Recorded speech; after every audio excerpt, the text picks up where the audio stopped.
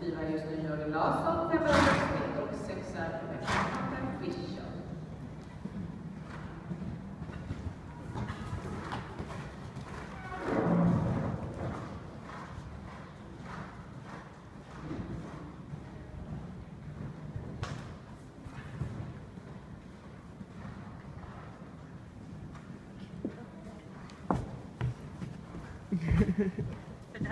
Nej, det var